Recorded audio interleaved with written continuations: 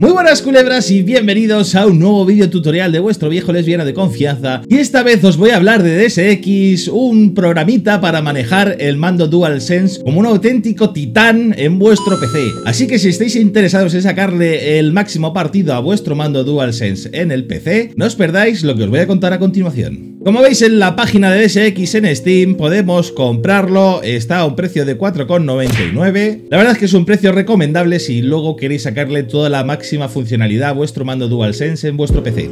Yo ya lo tengo comprado, voy a abrirlo en Steam y os voy a enseñar las características que tiene este programita. Ya estaría cargando nuestro programita, como veis tiene esta pantalla de carga que tarda unos segunditos. Bueno, pues esta sería nuestra pantalla de bienvenida en DSX. Vamos a conectar el mando. Os voy a enseñar eh, todo lo que contiene. Lo voy a conectar primero por cable porque es más sencillo, pero también se puede usar de forma Bluetooth. Ahora quitaré el cable y también os lo mostraré de forma Bluetooth. Vale, pues ya estaría nuestro mando conectado. Nos está diciendo aquí arriba a la derecha el estado de la batería está cargando, tiene un 55%. Lo estamos emulando como mando de Xbox, es la mejor opción para mi gusto, ya que os va a funcionar siempre en todos los juegos. Tenemos puesto el touchpad LED mode en arcoiris, es decir, que va cambiando lo que serían las lucecitas. No sé si lo podéis apreciar, espero que sí. Yo creo que sí se aprecia, pero podéis ponerle pues cualquier LED mode. Personalizado, respiración, temblor, batería, podéis ponerle pues varios tipos de modos LED. Podéis ajustar el brillo, la velocidad del arco iris, como he seleccionado el modo arco iris, pues podemos también ajustar los parámetros de este modo. También tenemos el LED del micrófono, que lo podemos desactivar, le podemos hacer que sea un pulso, es decir, que se encienda y se apague, o lo podemos mantener encendida fija la luz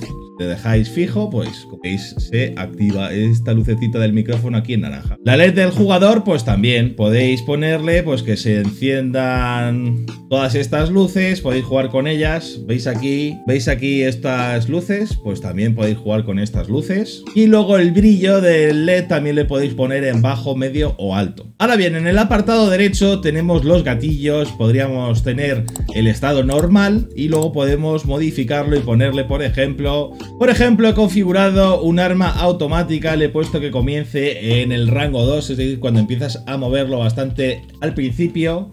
Le he puesto la fuerza al máximo y una frecuencia de, 18. A ver si podéis apreciarlo cuando pulso. Le tenéis que dar a aplicar, eso sí, para que os aparezca aplicado lo que hemos configurado. A ver si podéis apreciar el gatillo como vibra. ¿Lo veis? Bueno, ya veis que funciona perfectamente. Ahora bien, esto lo dejaríamos otra vez en normal porque lo basaríamos al final en lo que cada juego configure, pero bueno, si queréis jugar un juego o utilizáis siempre el mismo tipo de arma, pues oye, lo podéis definir también de forma manual que, que está bastante bien. Ahora también tenemos aquí el tema de mando.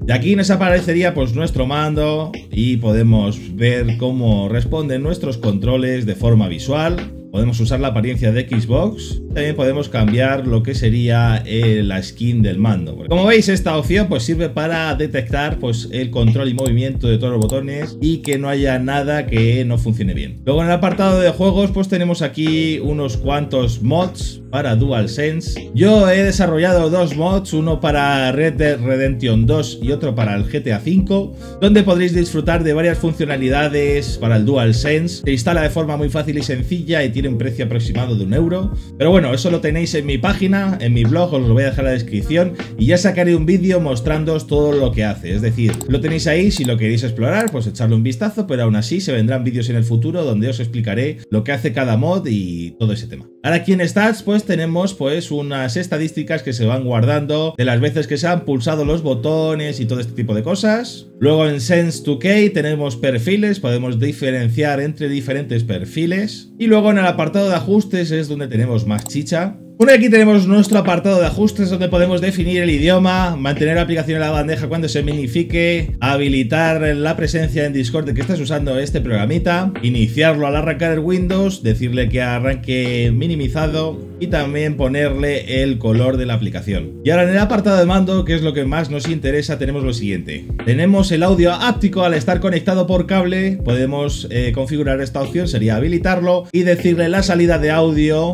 que tenemos en el Para que se reproduzca y vibre en nuestro mando. Simplemente seleccionáis luego la salida de vuestro audio y ya os vibrará el mando cuando suene la música. Podréis usar también el mando como altavoz donde podréis decirle el volumen que queréis para cada cosa y pongo una canción en Spotify pues veréis cómo suena por el mandito.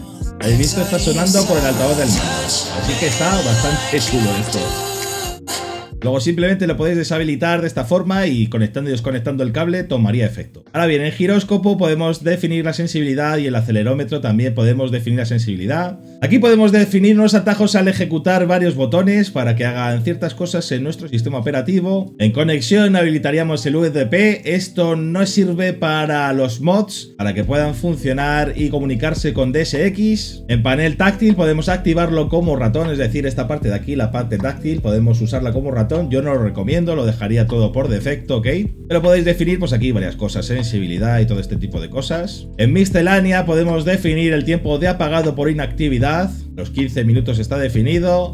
Habilitar el ruido del motor se refiere a la vibración, ajustar la fuerza de la vibración, desactivar la vibración si queremos, los umbrales de los gatillos y cargar el último gatillo activo, es decir, si aquí en la configuración de inicio definimos un gatillo de una forma, pues cargaría esa configuración por defecto. Y luego en drivers, pues nada, os aparecerían los dos drivers que están instalados correctamente, como veis con el aspa verde. Y en información, pues tendremos aquí el Discord, la página de GitHub y bueno, alguna cosita más que a lo mejor no os viene al caso. Ahora bien, si conectamos nuestro mando de forma Bluetooth, como lo tengo ahora mismo, pues todo el tema del audio áptico y usarlo como altavoz y todo eso dejaría de funcionar, pero bueno, tenéis la libertad de moveros sin cables. Pero por ejemplo, los mods que yo he desarrollado para GTA V y Red Dead Redemption 2 funcionan con cable y sin cable. Bueno, ya tenéis toda la información de los mejores programas para manejar el mando DualSense en PC. Os hablé en su momento de DS for Windows, si no lo habéis visto tenéis el tutorial ahí arriba arriba que os lo dejo. Eh, DS for Windows es gratuito y DSX no es gratuito, pero yo creo que merece la pena pagar esos 4,99 euros, ya que podréis sacarle muchísima más funcionalidad al mando y se va a venir de encima una actualización que va a estar muy, muy, muy top. Así que nada, espero que os haya gustado el vídeo, dejaros un like si es así, suscribiros, activar la campanita y nos vemos en el próximo vídeo. ¡Hasta luego!